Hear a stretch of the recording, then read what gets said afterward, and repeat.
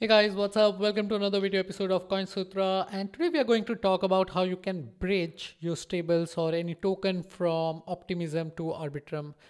But once you learn this technique, you can basically bridge your token from any blockchain to any other blockchain and it's very easy, but we'll be focusing mostly on moving stables from Arbitrum to Opti uh, Optimism to Arbitrum or vice versa because as we are seeing this layer 2 narratives are becoming way stronger and there are a lot of interesting projects which are upcoming on this uh, on this platform. For example nested.fi is one of those platforms project that uh, we are keeping an eye on and I'll I'll be doing a detailed video on this in the upcoming video. So if you don't want to miss that do subscribe to the channel so that you get notified.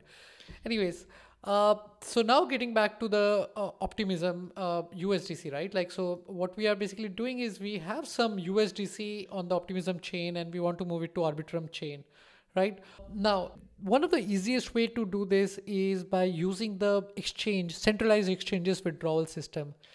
But what really baffles me that most of the good centralized exchange, including Binance, at this moment does not offer withdrawal to Arbitrum or Optimism chain. They had this feature, I believe, in the past, but they removed it to support their BUSD narrative. But anyways, I hope they will bring it soon. Uh, but let's see how, how it works out in the days to come. Now, uh, other exchanges like MEXC, again, they don't have uh, support for Optimism and Arbitrum. Similarly, Gate.io, which is which is a very uh, established crypto exchange they also don't have.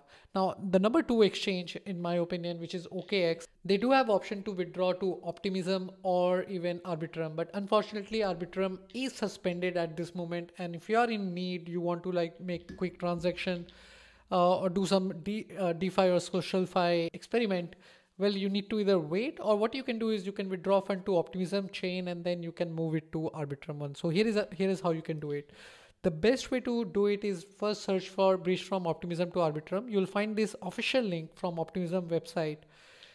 And this page has a lot of different tools right? And this, this is also a great place to discover some interesting projects if you want to.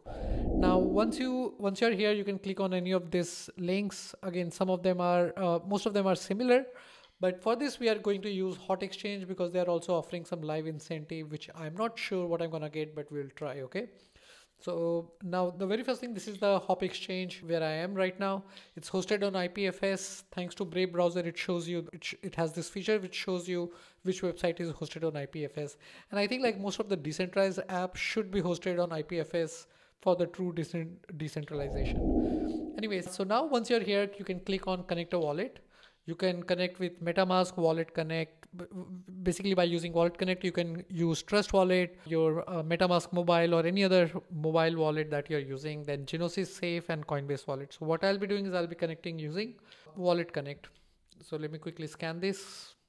So now i'm connected and i could see i have some balance here uh, what I'm planning to do is I'm planning to move it from uh, Optimism to Arbitrum. But you also have another option like you can move it to other chain, other network like uh, Polygon or Ethereum if you want to. So in this case, let's move about mm, 300. Okay. Now the very first thing we need to do is we need to approve this transaction and you can always see the fee. So the, the bonder fee is $0.25, which is fixed. So uh, instead of doing multiple transaction, you, you should focus on doing one transaction and the destination transaction cost is about 0.2 i think that's the gas fee okay? But you also have an option that you can enter a custom recipient. So instead of so what's happening here the wallet that i'm connected i'll be basically receiving fund on the same wallet but on the arbitrum chain right? But if you want to receive fund on any other chain or you're sending fund to some other friend who is on a different chain but your fund is on optimism or different network you can use this platform and just enter their address here. Perfect so the very first thing we need to do is approve the transaction. You can approve all or you can just allow approval of the amount that you want to do. So uh, for the security, I would suggest use just this one. Uh, remove the approval option and just click on approve. Allow this transaction on your wallet. Uh, since it's a layer 2 solution, it should not take more than few seconds. Now once done, click on send and again uh, approve this transaction. Uh, the transaction should take about one minute or less and then you, you'll have the stable on your uh, wallet okay Uh, and uh, before we move ahead, I'll just quickly want to check one more thing uh, and then we can uh, close this. So yeah, I've received the fund, which took about less than 20 seconds, so which is perfect. And I can click on close, the transaction can continue happening. So these are the tokens which are supported here. Uh, okay. Now rewards, I believe the rewards that we are getting is in the form of Okay, so maybe this require a different study, which we'll do sometime in the future, but this is how you can bridge a token from one blockchain to another. And whenever possible, you know, you can use your centralized exchange. Some of the centralized exchange like OKX uh, supports withdrawing to, you know, uh, this layer two solution, including Avalanche, OKC, which is their own chain and of course optimism and arbitrum one. So i'll leave the link of uh, this also in the description. You can sign up for okx if you like. It's it's, it's a very popular exchange uh, just for your reference. And if you like this video just drop a quick comment. It would help us to uh, do more such videos.